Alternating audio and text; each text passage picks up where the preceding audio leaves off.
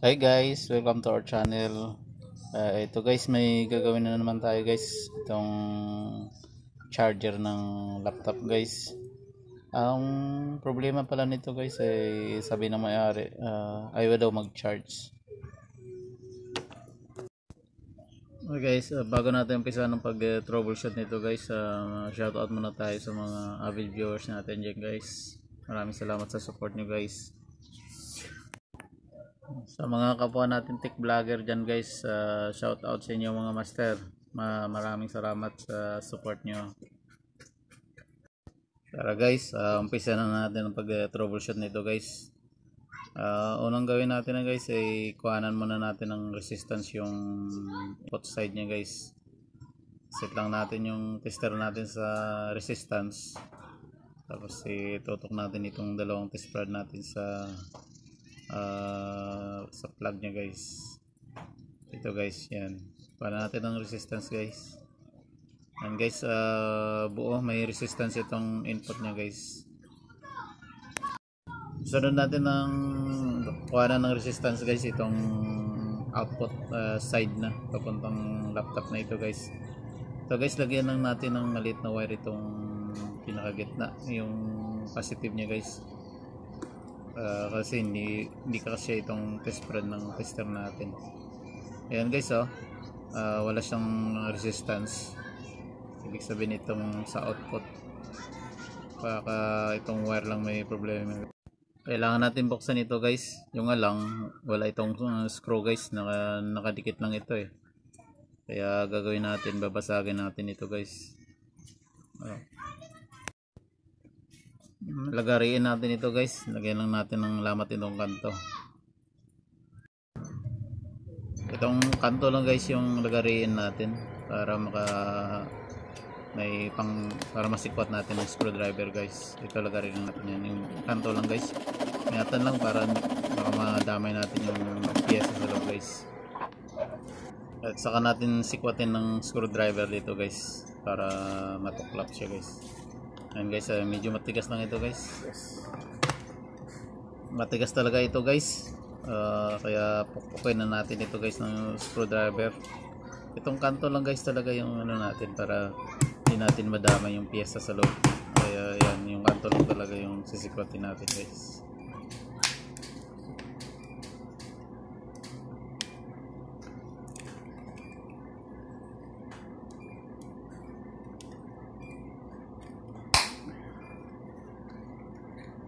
Ayan na guys, oh, natuklap na guys. Dandan lang guys, baka madamay natin ang piyesa. Ay, imbis na magawa natin ito guys, eh, lalong mas, baka lalong natin masira guys. Sige, sa ulo talaga ito guys, pupukay na natin ulit ng screwdriver.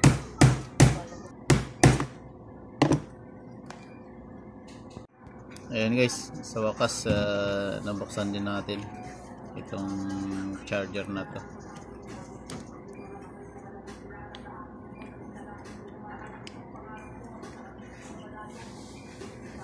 Ayan na guys, uh, nabuksan na.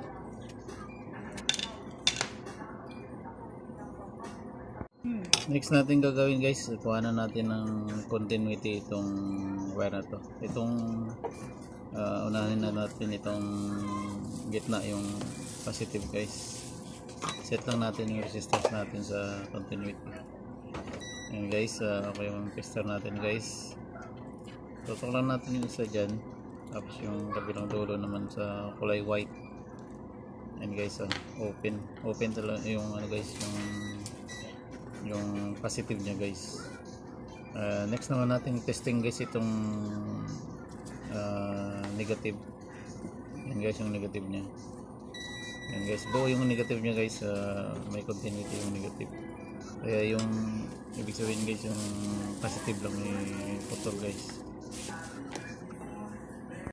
Saka yung uh, sa wire na to guys yung may problema. Kaya puputulin lang natin dito guys. Kadalasan dito sa kanto na to guys bumibigay kasi nahihila. Kaya dito, ta dito tayo mag-umpisa guys. Putulin natin to guys. Oh. Para makuha na natin ng uh, continuity. Uh, babalatin lang natin ito guys. Uh, paano natin ang continuity yung positive guys yung positive niya guys itong nasa gitna itong kulay white. Yan yung positive niya guys. Tester lang natin yan guys. Paano natin ang continuity? Yan. Okay yung tester natin guys oh. Uh, tutok lang natin isang test prod dyan guys. Tapos yung kabila doon naman sa pinaka board yan guys napansin nyo guys uh, may continuity uh, ibig sabihin yung area na yun guys uh, wala siyang putol. Kaya dito sa mahaba na to may problema guys. Isa-isahin natin yan guys. Pero kadalasan guys doon sa kanto lang talaga. Kaya yung kabilang dulo na naman tayo guys doon ta puputulin natin yun guys. Ito guys uh, puputulin din natin dito guys para ma-check natin itong itong wire mo ng mahaba guys yung checkin natin kuha na natin ng continuity. So guys balatan natin ulit. Ihiwalay natin yung yung dalawang wire yung positive at saka negative. And tester natin ito guys. Itong mahabang wire niya na to. Naputol natin ang kabilaan ito guys yung connector na tanggalan natin. Tingnan natin kung uh, buo itong wire. Ayan guys okay yung tester natin. Ayan buo yung wire guys. May continuity itong mahaba. Kaya ibig sabihin dito sa maiksi na to guys dito may problema. Ito ito may problema guys. Ito guys babalatan lang natin ito guys. Itong connector na guys ito yung papuntang laptop na guys kaya babalatan lang natin ito para ma-check natin. Check natin yung continuity.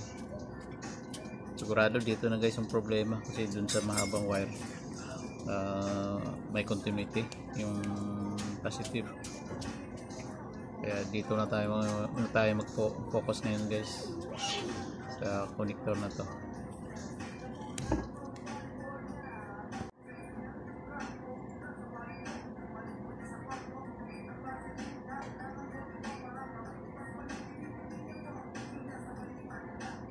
yan guys uh, balatan natin ito guys.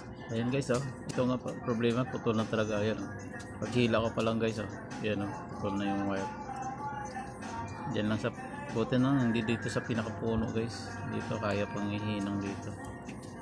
Yan guys oh. Tester lang natin yan guys. Nagkuha na natin ang continuity. Sana yung maliit natin ng wire. Tusok natin ulit niya sa gitna guys.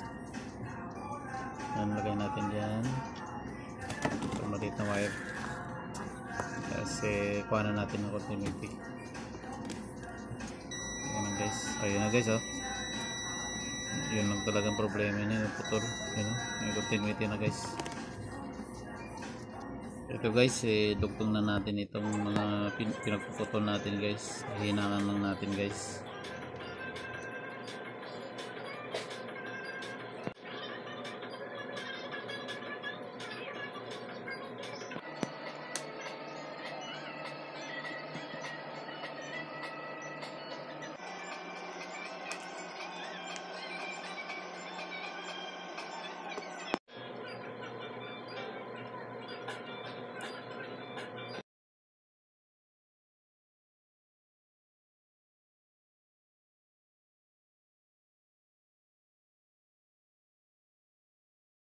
guys eh, balik na natin itong takip.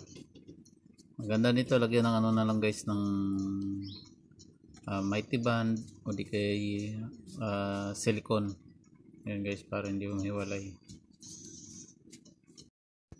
Yan guys uh, medyo may bungay lang ng konti doon. Pero pag nilagyan ito ng silicone guys paikot uh, hindi na halatin guys. Titibay na ulit yan guys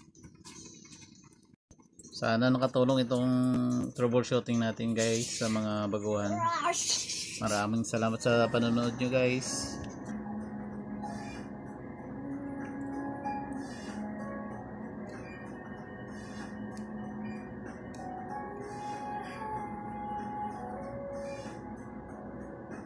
natin kuha na natin ng butay guys Ayan na guys, oh, may output na siya.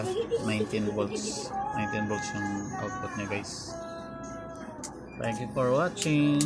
Please like, comment, and subscribe.